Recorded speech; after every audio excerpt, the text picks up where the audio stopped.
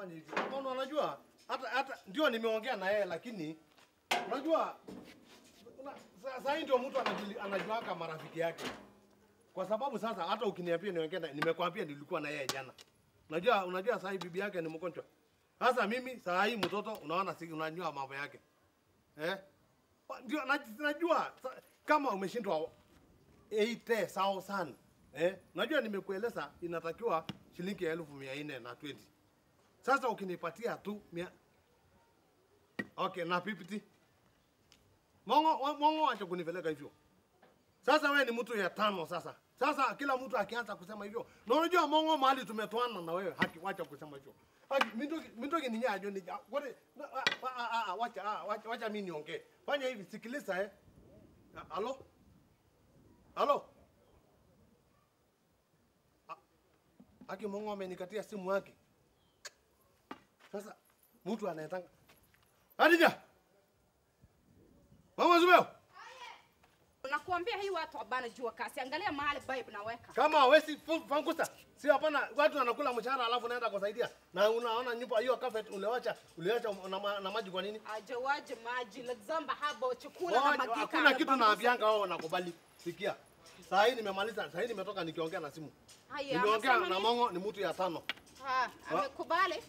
Ile watu wengine nne isipokuwa moja, moja ndiye ako na bibi yake ile na saa juzi ile tulienda kusalamia yeye. Hiyo tu, lakini ingine yote nasema uwezi eh, sijui uh, na sijui ako na na stress. Sasa hii stress yetu sisi tutajifanga nayo. Na mimi na mtu kama Mongo unajua kisi alikuja anaenda karibu ana, karibu anaenda na magoti kwa sababu mtoto yake alikuwa anaenda ng'ambo na tulisaidia yeye hapa hapa. Sasa ila kitu iko lazamba vile yeye anakuja hapa mgoti, hata sisi naenda mgoti kulelea. Kilisa wewe utasaidia aje hii maneno?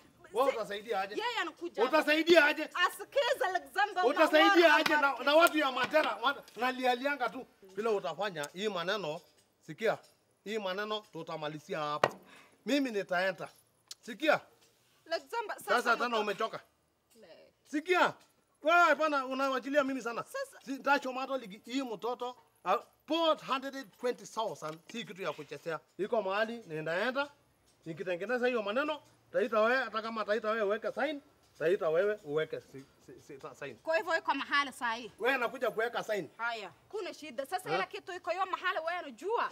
Enda wacha mimi namaliza bale alafu naingia kwa jumba na na sasa tuma foda foda ichukue wewe ama ama ama nitajifanga nitajifanga nitakueleza. Eleza, bigia simu alafu mimi naenda. napiga simu nini na hata ubebangi simu kwenda simu huko la Zamba jana tu maanguko kwa maji. Vile utafanya ile watu enda ueleze patia last warning mpea kama hawezi kasi mimi nitapangusa mimi naenda saa hii nichukue ile hata bag yangu ile ilikuwa na ile ma document niende Enda, Enda, enda, Kuna shida. Enda. Ha- Harakisha. Alexander Jospat, ndio ndio mimi sema ndio mheshimiwa. nani eh Sema, mheshimiwa. na mgani kwa nini mheshimiwa we sema ndio mheshimiwa. ndio mheshimiwa Unashtakiwa ya kwamba eh. mnamo tarehe nane mwezi uliopita mwaka huu katika ofisi za Bima Bora Insurance Company Eh. uliharibu mali katika ofisi hiyo, mali yangu mali ya hiyo ofisi ya hiyo eh, Bima Bora Insurance Company. Ah, unajua hata siku ile ingine nilikueleza hii ni fitina. Ndio sasa nilikuwa nataka kukuuliza leo, utakubali mashtaka ama bado utakataa Kama ni mali ya wenyewe, kama uliharibu hiyo mali? siwezi kubali kama ni mali ya wenyewe. Kwa hivyo bado unakataa. Bado nakataa. Kiongozi wa mashtaka, mashahidi wamekuja. Mheshimiwa, kulingana na upande wa mashtaka, ushahidi ni kwamba ama ukweli wa kesi ni kwamba mshtakiwa alikuwa na mkataba na Bima Bora Insurance Company Limited ya bima ya maisha ambapo ikimaliza miaka kumi atapewa pesa shilingi elfu mia mbili lakini mheshimiwa, baada ya miaka saba tarehe nane alienda kwenye ofisi ya Bima Bora akaitisha ile pesa ambayo alikuwa ameweka kwenye mkataba wa bima na akaambiwa kwamba angeweza kurudishiwa shilingi elfu ishirini na mbili. Badala ya ametoa premium elfu themanini na nne. Alivusha alitoa fujo akaharibu mali katika hiyo ofisi mheshimiwa. Mm. na upande wa mashtaka una mashahidi ambao ni watatu ambao watakuja kutoa ushahidi. Na kama wewe ni shahidi na uko hapa ndani unatakiwa utoke nje oh, huyo mtu ambaye alikuwa ameharibu mali katika ofisi ya Bina Bora Insurance Company Limited Ndio mheshimiwa. ambaye alikuwa anadai arudishiwe pesa za ile bima ambaye ilikuwa wakati wake ya kumachua hujafika. Yuko wapi? Ndio huyo mbele ya mahakama mheshimiwa. Ni haya tu mheshimiwa, kwa ushahidi. Una swali kwa shahidi? Kwa ile msikali. Eh, Ndio. endelea. Nauliza wewe. Mimi, mimi iko na deni yako? Ah, au na deni yangu. Wewe iko na deni yangu? Sina deni yako mimi. Ulichunguza ukajua kampuni iko na pesa yangu? Nilichunguza nikajua. Na ukakuta wana wananyang'anya mimi pesa ngapi? Ah, wali 84,000 anapatia mimi 22,000 na mimi natoa pesa mwaka saba. Ulijua hivyo? nilijua hivyo lakini makosa ilikuwa ni yako. Ya kutoa. Kwa sababu ile mkataba mlikuwa mmeandikisana na ile kampuni ilikuwa haijafika hizo miaka kumi. Ndivyo ulikuwa unataka hizo pesa. Mheshimiwa, tunaye shahidi mwingine. Na hii msikali hamjawahi. Respect to this your court. Yeah. Get in. Hey, good afternoon. I hope everyone is okay. Eh? Thank you. Thank you. From which I, I, Dr. Idikoko Ofoneko. Dr. Ijikoko Ofweneke. Can you stand up? Do swear that I do swear that the evidence I give before this honorable court, the evidence I will give in front of this honorable your court, it's not my court, before this honorable court, this honorable court, is true. it is true. Nothing but the truth. Nothing but the truth. So oh. help me God. So help me, Daddy, God. What's that? Is it a red? Can you inform the court your full names? Uh, my full name is uh, Dr. Ijikoko Ofweneke. Dr. Idikoko Ofonike. Yes, sir. Where do you come from? Doc- I, I come from Nigeria, but I am running a certain organization here in this your country. So you are, hapo? you, you, are you are doing this. Yeah, I'm a businessman. For how long have you been in the country? I've been in the country for around, uh, it is now around four years. Around four and, years. And one day and 22 seconds. Yes. 8th of last month. Yes, sir. Where were you at around 10 to 11? Oga, I remember very well, sir, that that day I had gone to Bibambora Insurance Company. Yes. Uh, I've told you I'm a business, a very prominent businessman from Nigeria. Yeah. And uh, this this uh, Bimabora company, we transact business together. So most of the time when I'm having some business, we go and talk. We are clients. Or you are a client of Bima Bore? Yes, sir. And then, what happened when you were there? Uh, Augusta, I cannot forget. In fact, I recorded in this my GSM. Whatever was happening there, I didn't like it. Too. There was this kind of ma- when I was just sitting there and taking some coffee, waiting for my turn to enter inside the office. Then all of a sudden, this man came out of nowhere and started making noise. In fact, he was shouting, uh, "There's this Kiswahili word." Uh, haki yangu, pesa yangu, pesa yangu. Only to come and realize that pesa yangu meant uh, my money. uh -huh. Then later on, he started shouting, eh, haki yangu, haki yangu, haki yangu. I thought that was the new song in Kenya. Only to come and realize haki yangu meant my right. Yes. So this man was dismantling things. He was throwing eh, mobile phones eh, everywhere and everywhere. And then, please shut up. It is my time to talk. So he was throwing mobile phones everywhere. Computers were flying all of you. may think it is computer flying inside the internet. Wah, wah, wah. Hey, what is happening here? Wewe. Did you know what was happening? Kama- Yeye Kama ni alikuja mfanyi- kujiongelesha. Did you know what- nakuelezea vile anasema. Did you know what was happening? I, I came to realize later that this Mr. Man was complaining. That he, from what I understood, this man had a sick baby. So the baby was sick and he wanted to be given his money, though his time had not reached yet.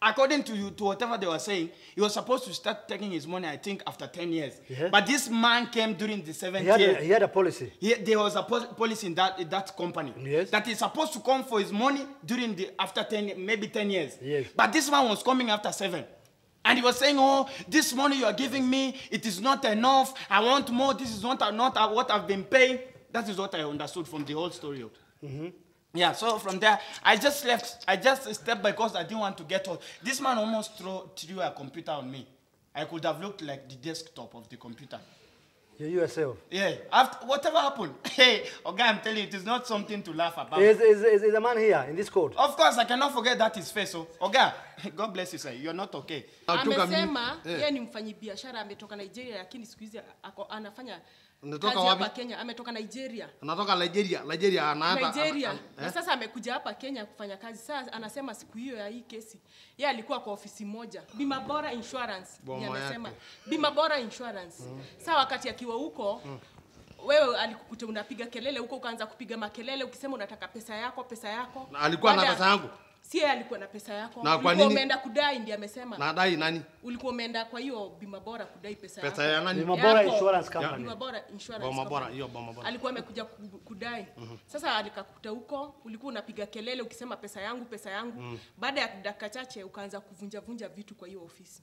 Hiyo ndio hiyo maneno yote ni hiyo umesema. na alisema kwamba alisikia ukizungumzia kwamba ni insurance ambayo ulikuwa nayo na hiyo kampuni ambayo muda wake ulikuwa hujafika na ulikuwa umeenda huko muda wa miaka saba.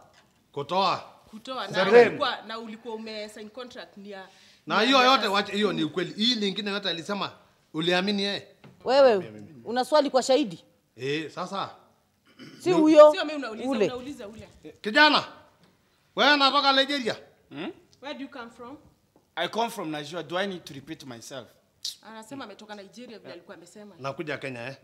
Na katika mama bora wewe anafanya nini? Bima bora Ni sawa sawa inafanana ni kama boma kwa sababu ni ya mwenyewe. Na atafuta nini kwa boma bora? what do you do at Bima, Bima Bora Insurance. Uh, I don't work there. I am only Bima Bora and I are. We are clients. We- I am a client there. So we transact business together. Yeah, afanyi huko ana wanafanya biashara na Bima Bora Insurance Company Oh. mteja, Eh, ni mteja, ni mteja. Mujeta, mu- mujeta mteja. Na sasa hiyo hiyo kampuni ya Bima bora ilikuwa na deni yake. wewe muulize Ako na deni yako kwa boma bora? did they did they own you any, any No, they don't owe me anything. Oh. We are only business uh, ni clients. kazi ni biashara tu anafanya pamoja hana pesa yake umemaliza maswali Sina haja na hii kijana. Kama hana shida mimi niko na shida na kama. thank you Thank you. Tunaye shahidi mwingine? Yeah, tuna shahidi mwingine. And this man, we could use in The way you are making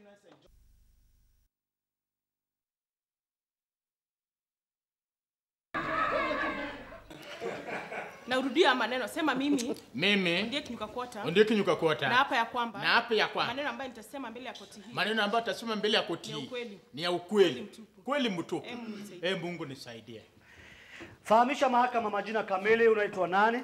yes mimi ni naitwa Gideon ndiye kinyuka kota mimi ni claims manager katika kampuni ya Bima Bora Insurance Company mheshimiwa headquarter yetu iko Nairobi Kenya Mnamo tarehe nane mwezi jana saa za asubuhi, yes Bwana Ondiek ambaye ni claims manager wa Bima Yes. Bora na eh, Insurance Company, ndio elezea ni kitu gani kilitokea kuhusu kesi hii. Kama kawaida hiyo siku nilikuwa kwa ofisi, unajua working days, mimi natoka nyumbani 4:30 ndio asipatikane na jami hapa barabarani. By 6:30 niko ndani ya ofisi. I love my job very much. Ndio. Niko naendelea kufanya kazi hii masaa ya asubuhi, iko jamaa aliingia pale kwa ofisi yangu na alikuja na document yake ya policy document na akaeleza ya kwamba bila inakuja anakuja kuitisha pesa yake ile mekua. Alikuwa na policy mm. document ya ndio. nini? Alikuwa na policy document ambayo ilikuwa inaonyesha ya kwamba ako na bima na kampuni yetu, bima ya life assurance ya kwamba na ingekuwa ilikuwa ni bima miaka kumi mheshimiwa. Kwa hivyo inge- ingemachua after 10 years. Ingemachua after 10 years. Ndio. Na ilikuwa imeonyesha kabisa baada ya miaka kumi yeye angepatiwa shilingi elfu mia mbili. Ndio. na katika ile kuonyesha katika ile mkataba alionyesha kwamba atakuwa nalipa premium ama kulipia ile bima shilingi elfu moja kila mwezi.